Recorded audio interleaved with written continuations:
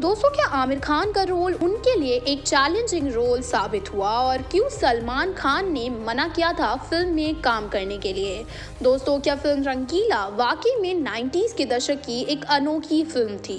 Hello and welcome to Bollygrad studios की एक और नई और चटपटी वीडियो में, जहाँ हम बात करने वाले हैं फ़िल्म रंगीला के बारे में। जी हाँ दोस्तों, रंगीला 1995 में रिलीज़ हुई एक म्यूजिकल रोमांटिक फ़िल्म थी। फ़िल्म के अंदर एक्टर्स के कॉस्ट्यूम्स फ़िल्म का म्यूज़िक डायलॉग्स उस टाइम के सबसे अलग और यूनिक थे, जो उस टाइम पर लोगों को काफ़ी पसंद आए थे। दोस्तों फ़िल्म को रिलीज़ किया गया 8 सितंबर 1995 को। फ़िल्म के अंदर हमें नज़र आए थे उर्मिला माटुंडकर, आमिर खान, जाकी श्रॉफ, गुलशन ग्रोवर, अवतार गिल, रीमा लागू, राजेश जोशी और नीरज बोरा। दोस्तों फ़िल्म की स्टोरी डायरेक्शन और प्रोडक्शन किया था राम गोपाल वर्मा ने, जो कि उनकी बतौर डायरेक्टर हिंदी में पहली फ़िल्म थी। हम आपको बता दें कि फ़िल्म के अंदर म्यूज़िक म्यूज़िक दिया था ए आर रहमान ने, जो कि उनका बतौर म्यूज़िक डायरेक्टर फ़र्स्ट फ़िल्म था और फ़िल्म का म्यूज़िक एल्बम सुपर हिट रहा था।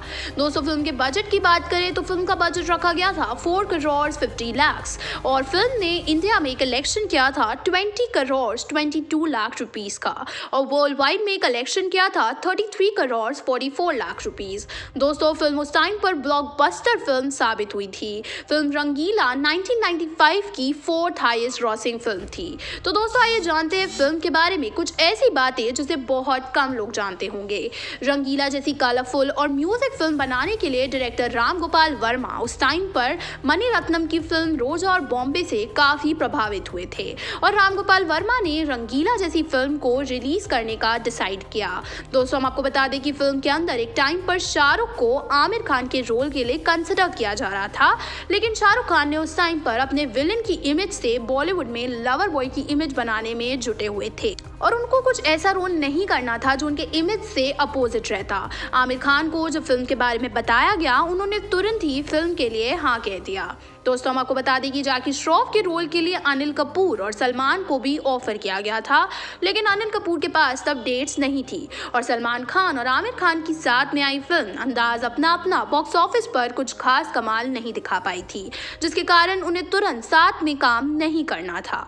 जी हाँ दोस्तों, इस वजह से जाकी श्रॉफ को रोल ऑफ़र किया गया और उन्होंने तुरंत हाँ कर दी।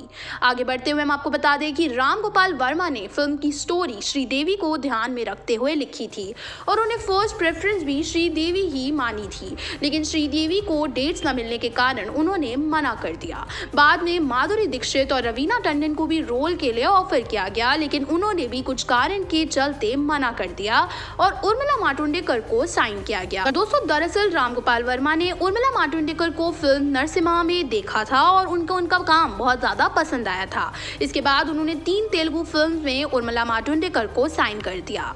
रंगीला में आमिर खान ने अपने कैरेक्टर को तपोरी दिखाने के लिए कई दिनों तक नहाया भी नहीं था। जी हाँ दोस्तों, और आगे भी 1998 में आई फ़िल्म गुलाम में भी ऐसा ही कुछ कैरेक्टर आमिर खान ने प्ले किया था। फ़िल्म में हमें आमिर खान एक कैप पहने नज़र आते हैं। एक्चुअली ये टोपी उन्होंने फ़िल्म अंदाज अपना अपना के सीन में भी पहनी थी। और आमिर खान के नाइन्टीज वाले फ़िल्म में उन्हें कैप वाले लुक में काफ़ी पसंद किया गया था। जी हाँ दोस्तों, आमिर खान के दोस्त पकिया के किरदार में हमें राजेश जोशी नज़र आए थे।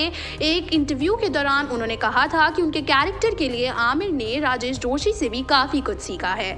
आगे आमिर खान ने राजेश जोशी के साथ 1990 में आई सरफरोश में भी काम किया था।